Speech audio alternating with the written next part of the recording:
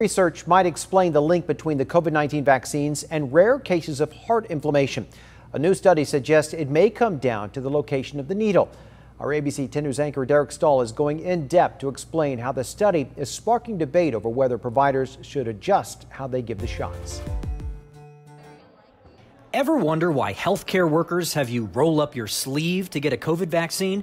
It's because the shot is designed to go into your muscle, not a blood vessel and the shoulder has relatively few blood vessels to worry about.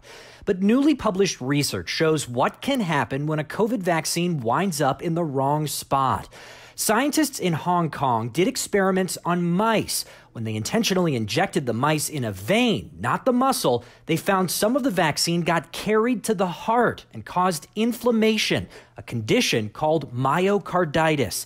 The researchers suggested the same thing might be causing the rare cases of myocarditis in humans. I think this is an important study because it gives us one possible mechanism that we can try to chase down. UC San Diego professor Dr. Robert Schooley is the editor in chief of the journal that published the study. And the reason that's important is that we have a way that we can uh, potentially reduce that risk by pulling back on the plunger. The authors proposed a simple safety measure. It's called aspirating the needle.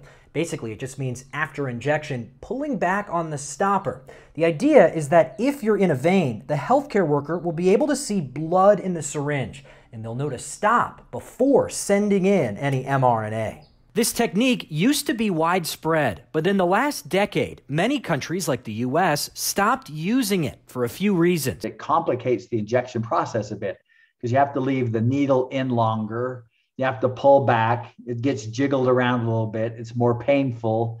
And and and it's just been found that the the potential benefit of trying to avoid that and do that is has not been worth it. Dr. Kirk Knowlton says tweaking the injection method sounds simple, but it would require lots of new training, and it's not clear how effective the technique really is.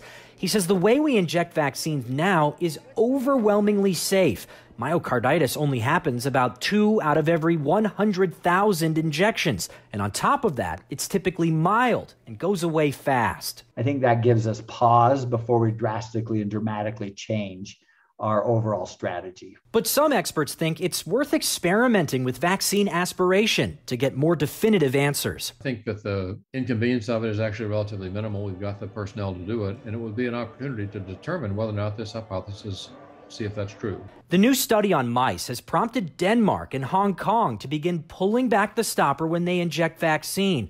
But Dr. Schooley says he's not aware of any studies underway in the U.S. Derek Staahl, ABC 10 News. Another study by researchers in Germany linked accidental injection into the vein to rare cases of blood clots. They also recommended that healthcare workers pull back on the stopper after injection.